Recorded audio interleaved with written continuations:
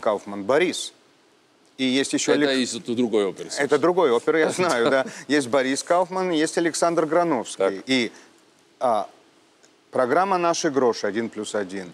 Издание «Деловая столица» — это киевское. А также одесское издание «Таймер» они э, пишут о том, что Кау- это- этот Кауфман, не тот, а вот этот, Борис и Александр Грановский с вами договорились. О чем?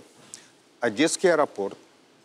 Не, не только они, я с ними договорился об Одесском аэропорте, правильно, вместе с мэром, которым я ни о чем больше другом не очень смог договориться, но об этом мы договорились, потому что это было мое требование, я с ним договорился, действительно, потому что нам нужен был аэропорт в Одессе.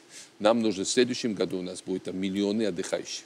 Нам нужен аэропорт в Одессе. Очень нервничают каналы Коломойского, естественно, потому что если будет, э, они, они контролировали Борисполь, они контролировали авиадминистрацию, а Одесский аэропорт они вообще убили, потому что губернатор был его, он через суды убил строительство. Если бы с самого начала я решал эту судьбу аэропорта, я бы Кауфману и Крановскому аэропорт бы не отдал.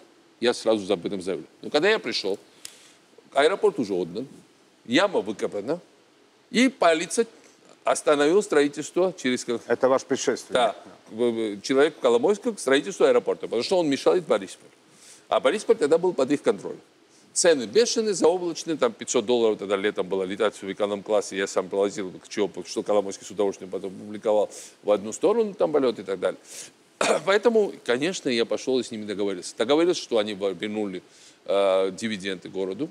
С Крановским я особенно не говорил, но с Кауфманом пару раз встречался на эту тему. Вернули дивиденды городу, что они отказывались платить. То есть мы начали с того, что если вы не платите дивиденды, мы у вас заберем аэропорт. Но я бы хотел, чтобы они платили дивиденды, и мы хотели, чтобы аэропорт закончился. Сейчас терминал практически закончен. В июле, надеюсь, он начнет оперировать. Более того, сейчас мы договариваемся с ними, и надеюсь, Министерством инфраструктуры, что мы и с мэрией Одессы, что мы э, полосу, что полосу они тоже построят. Это очень важно об этом договориться. И я это совершенно не только этим не стыжусь. Я очень доволен, что мы договорились. Им нечего нам приклеивать. Из-за того, что мы ни у кого денег не берем, мы открыто можем... Когда потом Генеральная прокуратура опять с подачи кого-то завела иск и опять остановила строительство прокуратуры, а, строительство аэропорта. Это было месяц тому назад. Я опять устроил громогласную скандал, разборку публичную и заставил Генеральную прокуратуру обратно вынести этот иск.